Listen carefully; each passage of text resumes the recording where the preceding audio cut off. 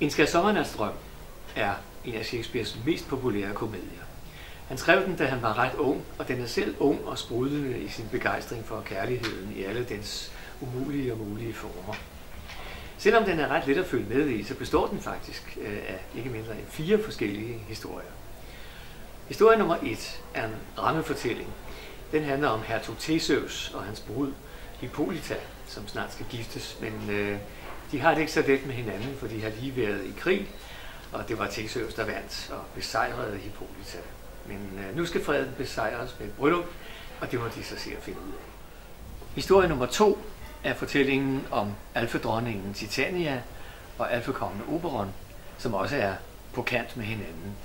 Det er ikke en krig, men de er blevet uenige om en lille page, en lille indisk dreng, et menneskebarn, som egentlig hørte til Titanias følge, men som Oberon har lokket over til sig.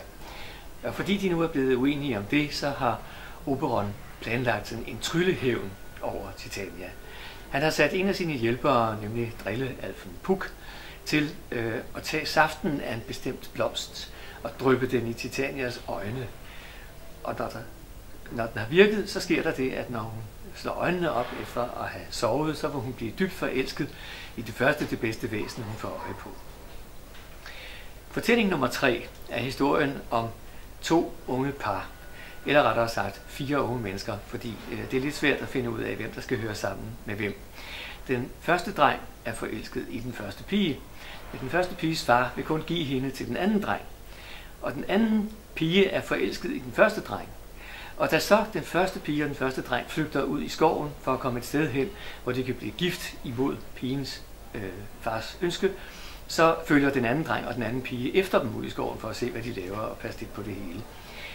Så kommer Puk og blander sig, fordi øh, han tager tryllesaften og kommer til at dryppe den i den forkerte drengs øjne, øh, sådan at han slår øjnene op og øh, bliver meget forelsket i den anden pige, og det var ikke meningen.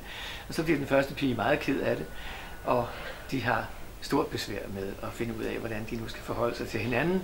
Men Puk, han har det rigtig morsomt. Og fortælling nummer 4 er historien om en gruppe håndværkere fra Athen. De er ivrige amatørskuespillere, så de har planlagt, at de vil vise et skuespil sammen med bryllupsfestlighederne øh, for hertugen og hans dronning Hippolyta, fordi så kan de blive kendte og tjene en masse penge. En af dem har skrevet et stykke på baggrund af et gammelt digt om to unge mennesker, der ikke må få hinanden, og det holder de så prøve på ude i skoven, fordi der ikke må være nogen, der finder ud af, hvad det er, de har for. Og så er det, at fortællingen nummer 2 og 3 og 4 bliver blandet sammen for alvor. Fordi Puk ser prøven øh, og kan ikke dyse sig for at lave lidt op på stjerneskuespilleren i truppen. Så da han er uden for et øjeblik, så sætter Puk et æselhoved på ham øh, i stedet for hans eget. Han kommer ind, de andre i truppen bliver rejselslagende og flygter til alle sider. Øh, og han kommer til at vække den sovende Titania, som slår øjnene op og bliver dybt forelsket i ham. Og det er jo lige efter Oberons plan. Men så har spøjen også vejet længe nok. Oberon sørger for, at fortryllelserne bliver ophævet, og de unge par de vågner og finder sammen med dem, de i virkeligheden elsker, og hertug Theseus og hele hans følge kommer ud i skoven og finder dem. Og så kan alle vende tilbage til Athen og holde bryllup.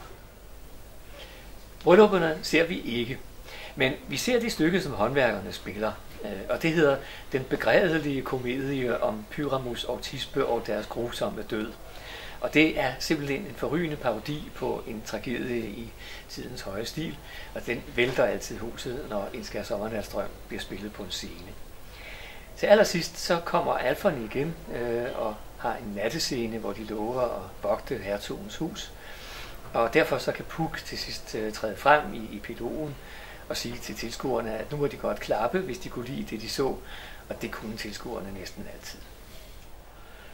Stykket handler kort sagt om kærlighedens veje og vildveje, om alle de regler og restriktioner, der er for kærligheden i den strenge by Athen, og alle de drifter, der slår sig løs ude i den vilde skov.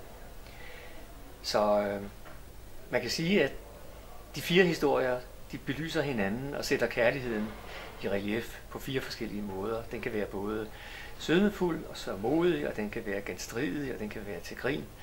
Men det er kærligheden, det handler om, og hvis man skal sætte det hele på kort formel, så kan man sige, at det er det gamle ordsprog om, at kærligheden overvinder alt. En skærsommernatsdrøm er et teaterstykke om at elske og det er et stykke, som man bare må elske.